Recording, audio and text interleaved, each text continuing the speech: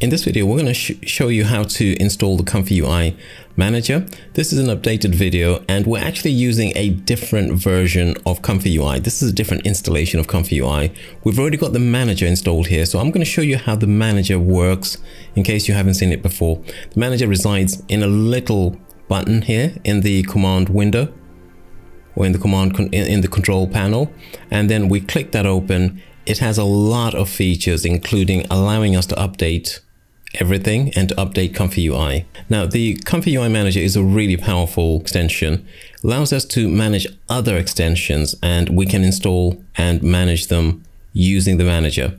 I probably use the update feature more often than anything else. We can also restart. Now, the Comfy UI Manager needs to be first of all installed and we're going to install it, but I want to also maintain a strong emphasis on security in this updated installation guide. Now to install the Comfy UI Manager, you need to make sure that Comfy UI is not running. So to do that, Control C will stop the server, hit Y to terminate the batch job, and you go back to your original input where you are running Comfy UI. Now with our focus on security, I want to give you guys some confidence to use the uh, Comfy UI Manager to install ex extensions without feeling too much trepidation about the risks. So we know already that hackers are targeting stable diffusion, but we've already got some lessons and security measures that we can apply.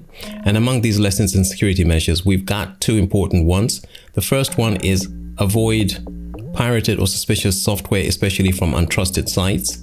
And the second one, carefully vetting custom nodes and extensions before installing. Custom nodes are basically extensions. If you use Automatic 1111, you probably call them extensions. Now, we're going to go ahead and see how to install the Comfy UI Manager, which itself is a custom node. So you will learn how to install a custom node, and then we'll see how we can use that custom node to manage other custom nodes. Now I'm going to give you a link to the Comfy UI Manager on GitHub. And what we need to do is to go to the code section and we're going to install it in a specific way that you can use for other custom nodes as well. The technique I'm going to use for this one is to go down to the web address for the Comfy UI Manager and we're just going to click here. What this will do is it will give us a green tick mark there we are. That means we've copied that address. We now need to go into the command prompt and let me show you how to do that. So we're inside of Windows now and we're going to be working in Windows to install the custom node that controls the, uh, the, the, the Comfy UI manager. What we want to do is to make sure that Comfy UI is not running. I've already mentioned that and then we're going to go into the main Comfy UI folder. So I'm just going to double click there and I'm going to double click on Comfy UI. We're going to go into the folder custom nodes and this is where we install the custom nodes. Now to do that, we'll open up a command prompt window. So I'm going to go to the address bar, type in CMD. That will open up a command prompt and the command prompt window will open up in the right folder.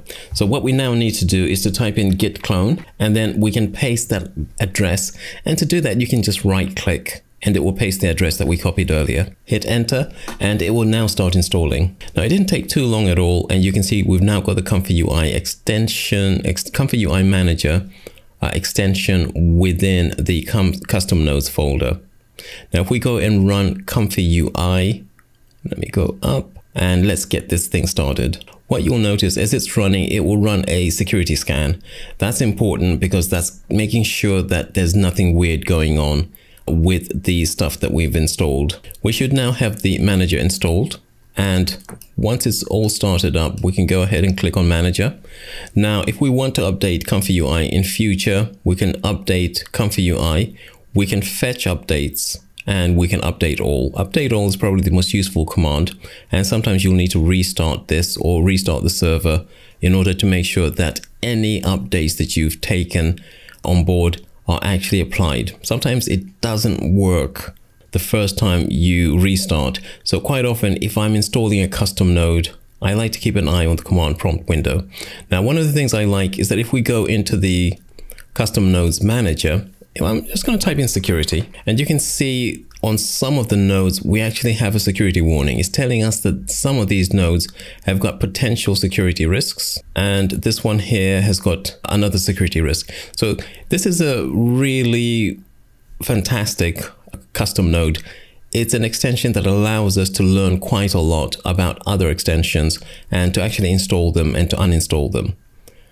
Now, if you look at one of my installations of Comfy UI, typically I've got three, five, six, 10 custom nodes.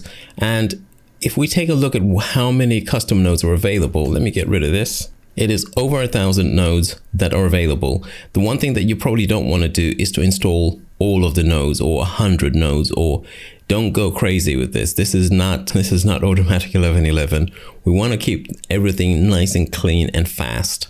And the more custom nodes you install, not only are you taking on more risks because we don't know which ones might have some dodgy code, but you're also slowing down your Comfy UI. So I try to, to install just a few. What we'll see here is that the Comfy UI Manager is actually one of the one of the extensions, and we can we can update it, we can uninstall it, uh, we can actually see who's the author.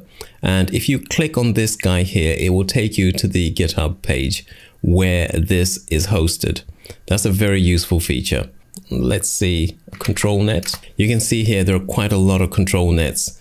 Control nets are a really important part of Comfy UI. These are probably the custom nodes that control the, the, the control nets.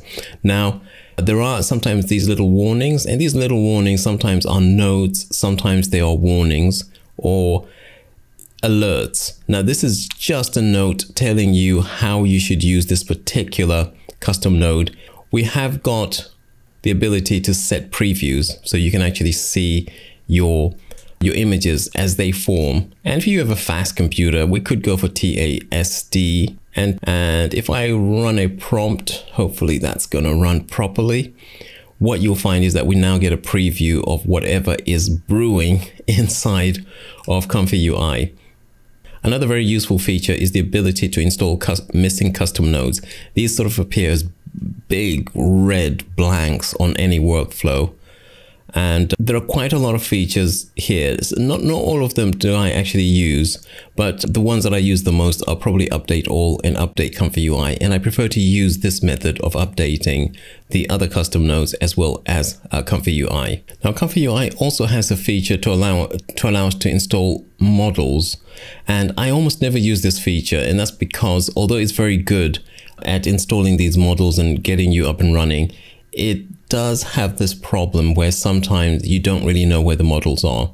So I prefer to install the models manually myself. Now, installing custom nodes adds a huge amount of functionality. It also multiplies the risks. So I try to keep the number of custom nodes that I've installed very, very small. As you can see, I have more than one version of custom of Comfy UI, and I tend to I tend to install just the custom nodes that I need for a particular workflow in one version of Comfy UI. Now the Comfy UI workplace also has a lot of its own features. So for instance, I can go ahead and change the link render mode to spline. Let's close that.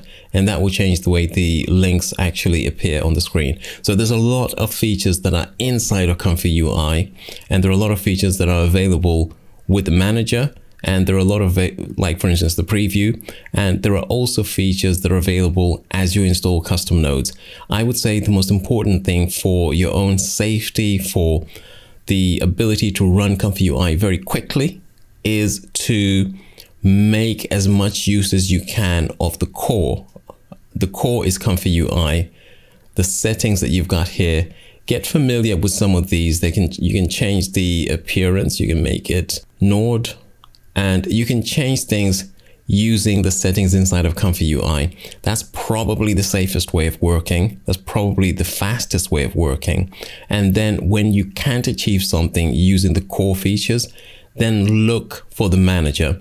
I would always install the manager as a starting point because I think it is such a useful custom node and it is very well maintained.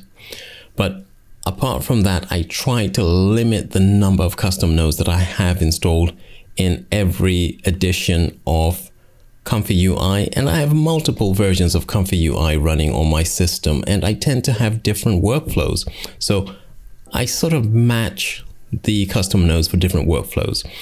That's basically it for this guy here. We're going to have a little bit more on security. You may have seen the security videos already. If not, I will definitely link to that so you can see some tips on improving security. Custom nodes do involve quite a lot of risk. You don't want to install all of them that you come across. And if you do install quite a lot, make sure you've got very, very strong uh, security measures in place. Pixovert now offers a range of courses in generative AI, including a beginner's guide to stable diffusion and other courses in generative AI, including SDXL and Comfy UI. If you're interested, use the link in the description to enroll and get started on a new direction.